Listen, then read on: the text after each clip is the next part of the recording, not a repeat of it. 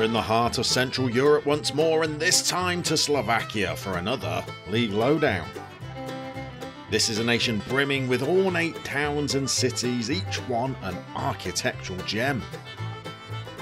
This country is a sightseer's paradise, famed for its castles, its mountains, and its network of caves, as well as its dairies, its modern art influence, and its love of folk music.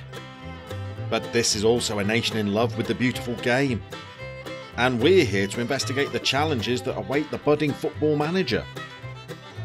So let's investigate the teams you could take charge of in the League Lowdown Guide to Slovakia.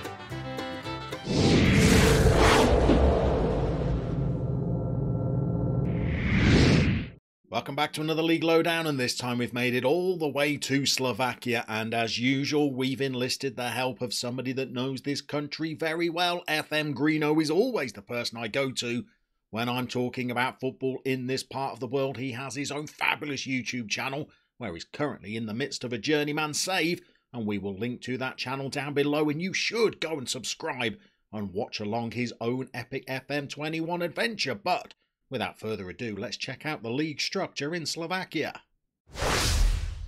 The top division in Slovakia is known as the Fortuna Liga, and currently it is a 12 team affair, although that has varied down the years.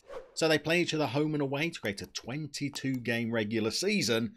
Then comes the league split, so the top six play each other again home and away, creating an extra 10 games to see who's going to be the champions and who gets those all important European spots and the bottom six also play each other home and away as well to see who's going to be automatically relegated out of this division and who's going to enter a play-out with a team from the playable division below in Football Manager, which has 15 teams in it itself. Teams are playing each other home and away again. So that's a 28 game season, one automatic promotion place, one team qualifying for that playoff with a team from the division above, and three teams being relegated out of it. So that's the league structure in Slovakia. It's time to start our tour of the teams you could manage with the biggest club in the country.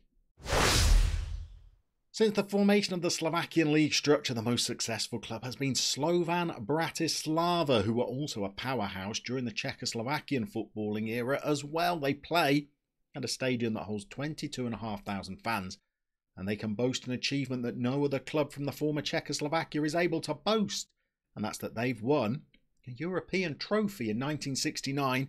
They beat Barcelona 3 2 to win the European Cup Winners' Cup. They also managed to lift the Czechoslovakian League title on eight separate occasions.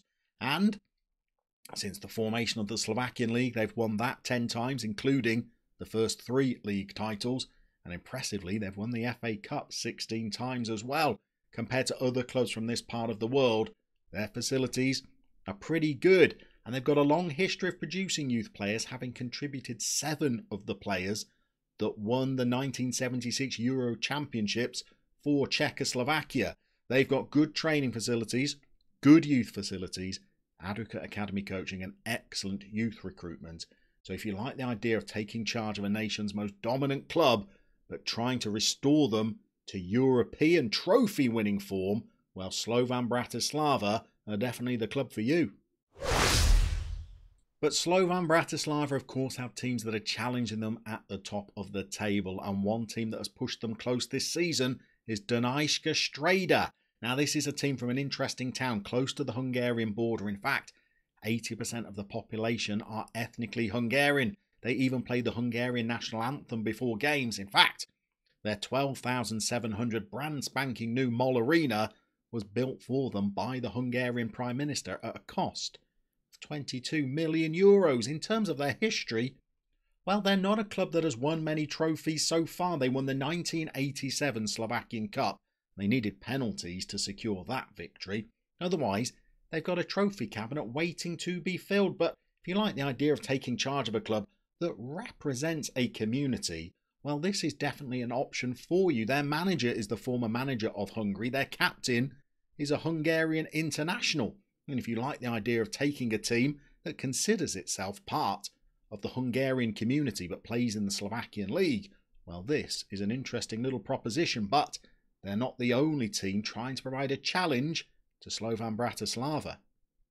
A challenger that's actually won the Slovakian title plenty of times themselves is Žilina. They never won the Czech top division or the Czech Cup, but since the formation of Slovakian football, well, they have had quite the success. When they were competing in the Czechoslovakian League, they did reach the quarterfinals of the 1962 Cup Winners' Cup before eventually losing to Fiorentina, but they've been racking up the trophies since the formation of the Slovakian league structure. They may only have won the FA Cup once in 2012, but they've won the top division on seven different occasions. And they've also made the group stages of the Champions League way back in 2010 2011.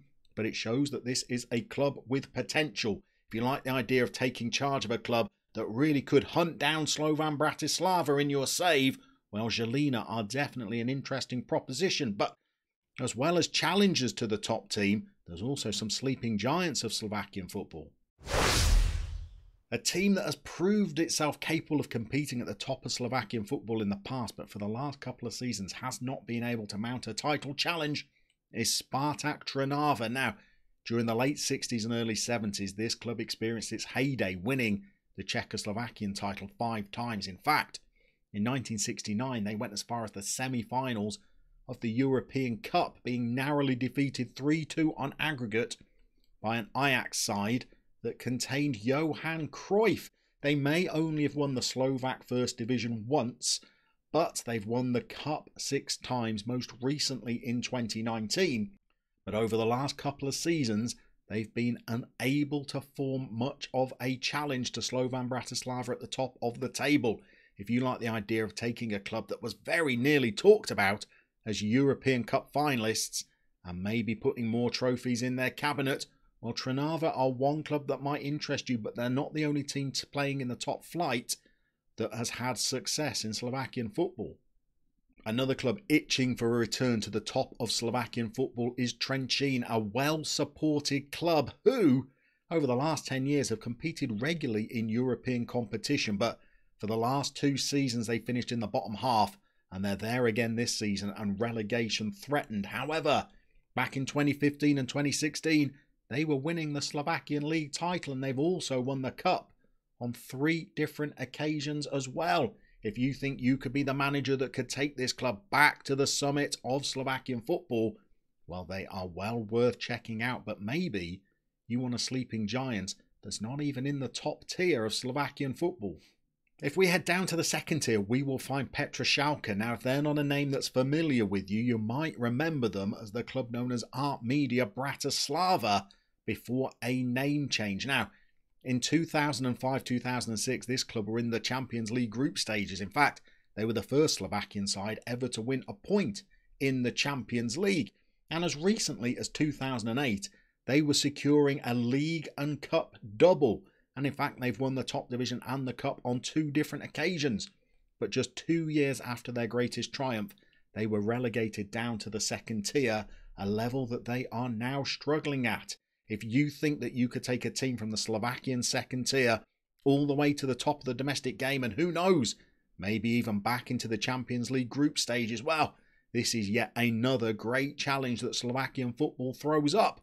But there's another club out there that may only have won the title once, but they could be a force again in Slovakian football. The club in question are Ružomberok, who are from the north of Slovakia, and for the first 100 years of their history, well, they put very few trophies in their cabinet, but in 2006, which was their centenary year, not only did they lift the Slovakian League title, but they actually managed to do the double. A year later, they were competing in the qualifying rounds of the Champions League, where they managed to get past Swedish club Djurgården before eventually bowing out to CSKA Moscow. They're a club that have only got one title and they won the cup in the same season. And it was a while ago now, but maybe you are the manager that could take control of this club and turn them into a powerhouse of Slovakian football. So that completes the League Lowdown guide to Slovakia, a nation that's had clubs competing at the top of European football, but with two playable divisions. There's plenty of smaller teams out there that you could lead to glory. We're going to see you very soon when we make another country the focus of our next League Lowdown.